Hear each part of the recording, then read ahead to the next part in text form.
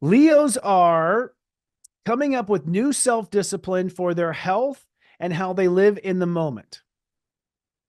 So, in essence, Leos live in the Leos allow their moment to get hijacked by a lot of things. And I'm seeing this in a lot of Leos that I know that they're slipping into certain ruts, particularly emotional ruts that are triggered by their trust issues with themselves. Saturn in Pisces has helped you to clear the way to really trust yourself, but you may not actually trust yourself yet because it's unproven.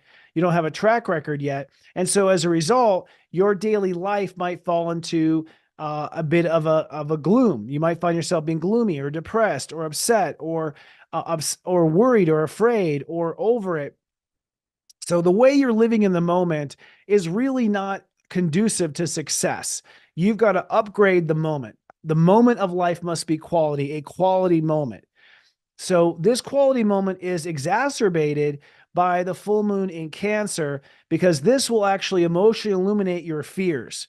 So, this will be a fearful full moon for the Leos this week, where fears and traumas become realized.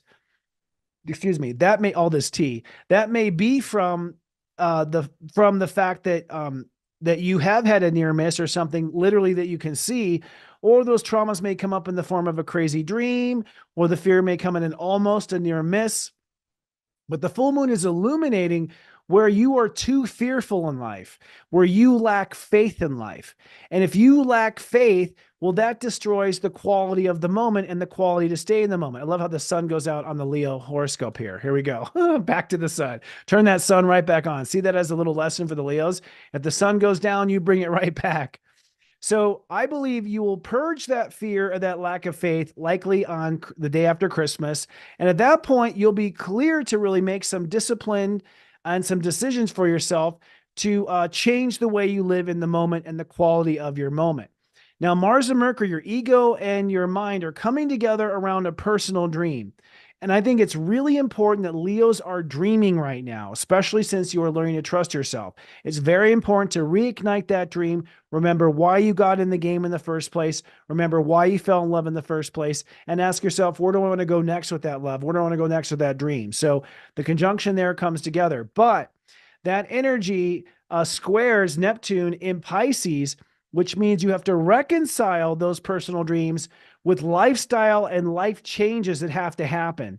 You're not going to be able to change your lifestyle or get your personal dreams with the current boundary structure you have. You have to change your boundaries. And these are big picture boundaries like your work hours or your play hours or where you live or how you work or maybe even financing issues because it opposes the second house. So it might have to do with the way you pay for things or whether or not you have debts or something like that as well, because the eighth house can be our debts where the second house is our profitability. So you really have to reconcile what your dreams are with the changes you have to make for yourself. And that, in my opinion, will get you on the right track come uh, 2024. Uh, Leos are going to really pick up steam and really get their shift together, I predict.